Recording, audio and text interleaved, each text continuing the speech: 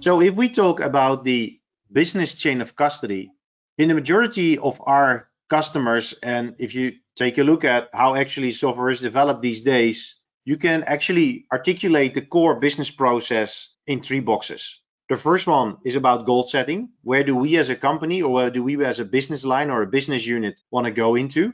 Then there's the definition phase or process step, if you like, where we articulate customer problems as well as potential solutions. And then, and that's the most common process step, is the planning and execution. That's where the teams are involved. That's where you will get Jira for backlog management, where you will have the activities like the scrums and the demos showing up to actually do the delivery and do the work. But what we think is, or today what we observe is that planning and execute is the strongest. Goal setting and definition are kind of disconnected.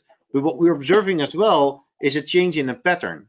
So many of our customers are experimenting with ideation, with customer centricity um, instruments that truly focus on can I articulate what a customer needs, run experiments uh, based on prototype or mockups, and really based on data, start making informed decisions.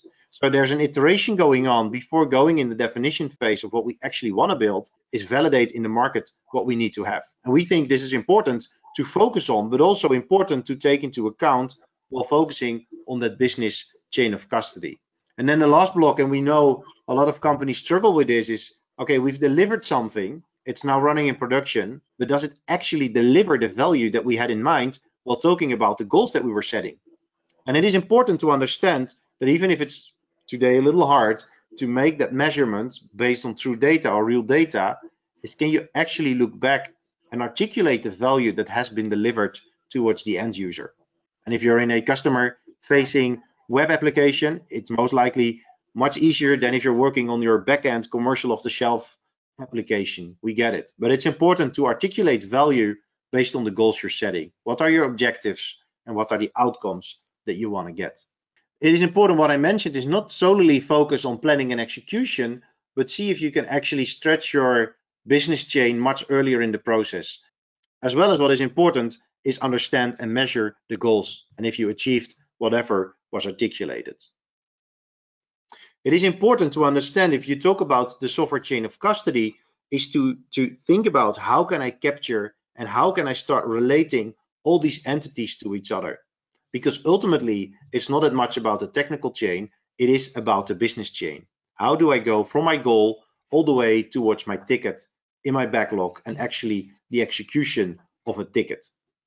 What you will see further down in the presentation is that with VersionOne and the nice combination of the two companies, we can serve you in capturing this business chain of custody. So the technology chain truly has been transformed over the last few years. DevOps practices have really been focused on this area. We know it's all about speed, efficiency, automation, and then integrating security and, and so forth. So we've definitely seen some phenomenal enhancements.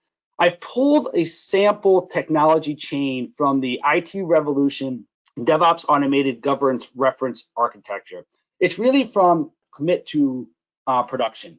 So when your code is committed into uh, repository, the build, through the packaging to a reiterative steps between the non-prod, so dev, test, QA, through production, and then into ongoing management and monitoring. What we've already talked about by applying DevOps practices and, and automation, we've seen some uh, great advances. Organizations certainly are empowered to deliver code faster. No questions asked. I think uh, the DORA report and others show dramatic improvements on this. It has enabled companies to build better connected tool chains being able to use automation, tie the chains together, and improve the full automated flow from planning all the way down to production. By connecting the tools and gathering information, we've been able to generate much better dashboards and reporting that enables better collaboration between the different teams. There are multiple different teams involved in the technical release of software. So be able to share data across these teams allows for much better collaboration. And then we've been able to collect a lot of data. There's so many different tools that we talked about and a lot of data that's coming in that ultimately has the ability to tell us what happened, when it happened, and how it happened. Now, I think there are tremendous advantages that a governance change can give organizations. Just going to call out a couple here. Developers can stop wasting valuable time trying to pull together all the pieces for an audit report and can focus on things that they love to do, like building great experiences for their customers. Executives and really all stakeholders get just a much better visibility across the pipeline. And then InfoSec teams and auditors are able to generate the reports when they need them in as simple as a click of a button. And what is also really important and always a great way to end is this is a continuous process.